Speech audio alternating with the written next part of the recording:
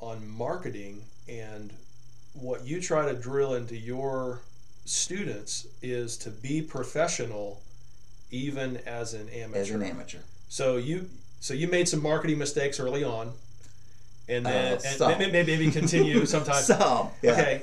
So from the marketing standpoint, yes, you want to market. This is a marketing video. You want to constantly market yourself, but teaching or or helping your students to be a professional, even or be professional. Maybe they'll never be a true professional in the sense that they derive all their income, but to be professional, to handle things professionally.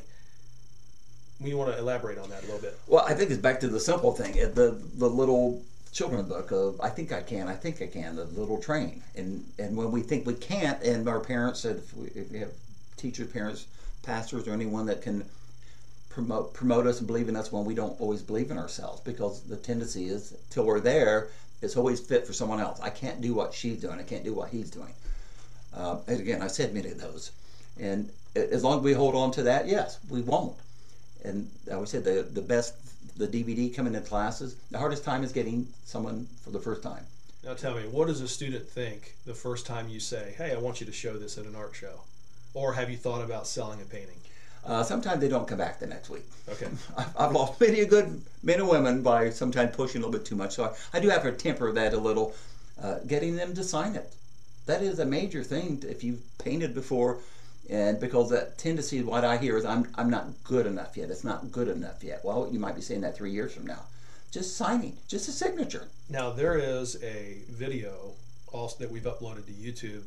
Uh, lady by the name of Marjorie, Yes, yes. and she is around 85 years 85. Uh, well, I, I, we, normally I don't say the ages on those, but she's not here to slap me upside the head. Okay. Yeah, but she from her own. Yes, But, she, but, but here's a lady that didn't paint her whole life, has begun classes with you.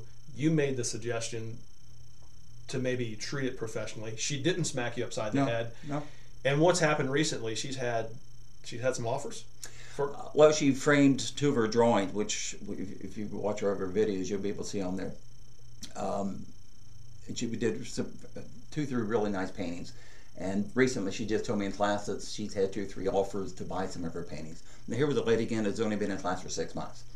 And the neat thing behind behind that story, real quickly, is another student had at the retirement center where I was teaching had been painting with me for five years, and this other lady had had a stroke when she was 29, and she was 79 at the time when she passed away. But had been talking to this lady Margie about coming to class, and Margie kept saying, "I can't do it. someday maybe. I can't." And and then so Margie said, "Well, if this lady who had had a stroke and partially paralyzed had been doing it all these years."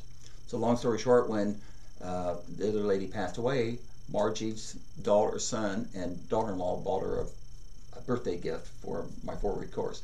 That's how all this started. So from the day one, again, bigger fish to fry, without scaring them too much. And she was nice enough to say, "Okay, I, I'm not sure if I can do this, but, but you seem to think I can." That's what she said on her video. That if you see on the other one, that he kept saying, "I could, do, I can do this." And so she's going to enter some art shows this year. She may not know it, but she's going to enter some art shows. There you go.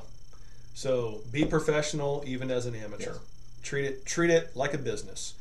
Okay, well before you guys shut us off, uh, again, Mark Perry with professional artist Bill Pattison. Check out all of Bill's work at billpattisonstudio.com. You can check us out on Bill's Facebook fan page, Bill Pattison Studio, Google Plus. Yes, we're there, and uh, also the YouTube channel. Did I miss anything? Twitter. Uh, LinkedIn. LinkedIn. Twitter, we're everywhere. So, anyway, good talking to you. Thanks, Bill. Appreciate it. I'll see. You. Thanks, Mark.